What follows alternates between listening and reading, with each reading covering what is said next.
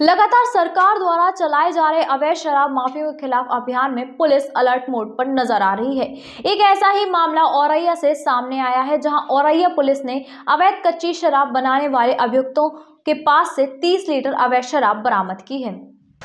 उत्तर प्रदेश में अवैध शराब के निर्माण, बिक्री और तस्करी की रोकथाम के लिए आबकारी विभाग की ओर से लगातार अभियान चलाया जा रहा है। वहीं औरैया में एसपी अभिषेक वर्मा के निर्देश पर जनपद में चलाए जा रहे शराब माफियाओं के खिलाफ अभियान में औरैया पुलिस को एक बड़ी सफलता प्राप्त हुई है।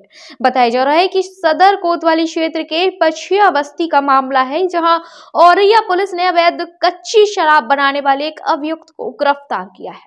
वहीं अभियुक्तों के पास से 30 लीटर अवैध कच्ची शराब बरामद की है। साथ ही अवैध शराब बनाने वाला उपकरण भी बरामद किया गया है, जिस पर पुलिस अधीक्षक ने आबकारी एक्ट के तहत अभियुक्त को पकड़कर जेल भेज दिया है।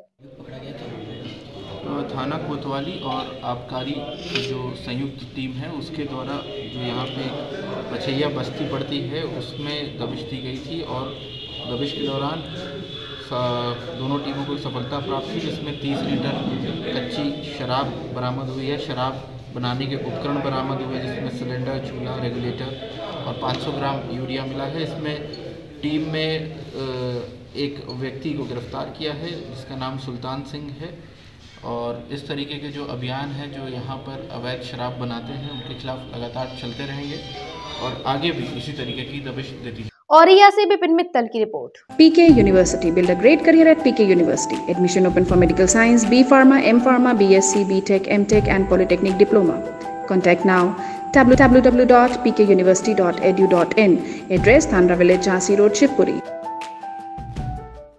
मीठे रसगुल्ला के संगे चटपटा समोसा भी खाओ। पांडे जी मिष्ठान भंडार पे एक बार तो आओ। जो एक बार खाए, बाको बार बार मन ललचाए। बुंदेलखंड के पांडे जी को रसगुल्ला सबके मन को भाए। पांडे मिष्ठान भंडार, बरुआ सागर, बस स्टैंड।